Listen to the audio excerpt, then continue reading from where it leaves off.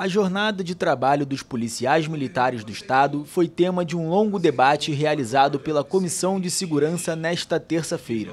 A categoria apresentou inúmeras demandas para garantir condições adequadas de trabalho, dentre elas a extinção da escala de 24 por 48, na qual se trabalha 24 horas e posteriormente ao descanso de 48 horas.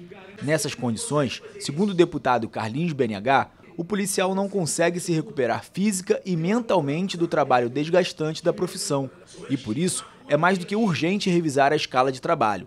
Ele afirma que conta com a sensibilidade do governador do estado e da Polícia Militar para discutir o tema. O mais importante de tudo hoje foi ouvir do coronel que está representando a Polícia Militar dizer da sensibilidade do secretário de Polícia Militar, Coronel Menezes, e do governador Cláudio Castro, do entendimento da necessidade da mudança dessa escala, como eu falei, o policial está adoecendo.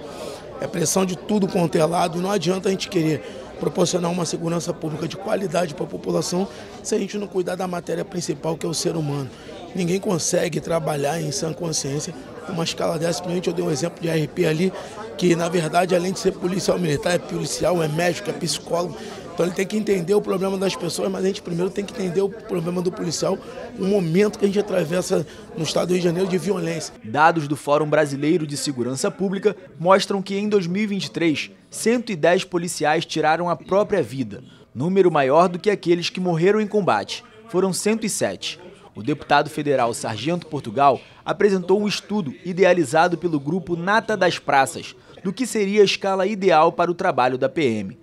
O parlamentar também criticou o serviço realizado de forma extraordinária nos dias de folga do policial militar e que, em alguns casos, sem a devida remuneração. Nós estamos trabalhando sobrecarregados.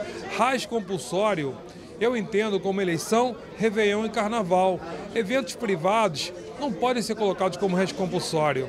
A gente tem que parar de sofrer por isso. Quem organizou, que pague pelas empresas ali que eles queiram contratar. Já entregamos o estudo para ele, entreguei para o governador o estudo também, como o senhor me perguntou, e o governador falou: aceita o desafio.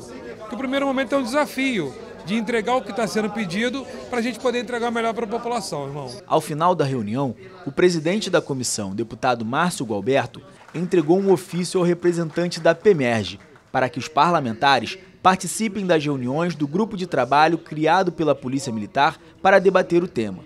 Segundo o parlamentar, é preciso entender as necessidades daqueles que trabalham para garantir a segurança do Estado. A nossa preocupação é levar essa qualidade de vida e isso passa pelo melhoramento da escala.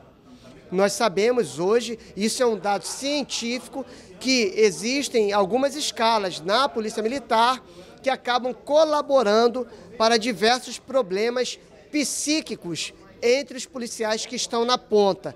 Essa audiência pública foi muito importante porque houve, durante três horas, um amplo debate sobre isso e, ao final, nós ouvimos do coronel que está representando o secretário da Polícia Militar que um grupo de estudo foi criado pela Corporação Polícia Militar e em até 30 dias eles apresentarão os resultados desse grupo de estudo e nós entregamos imediatamente um documento pedindo que a Comissão de Segurança Pública da LERJ, com o deputado é, federal Sargento Portugal, que nós possamos participar também desse grupo de estudos.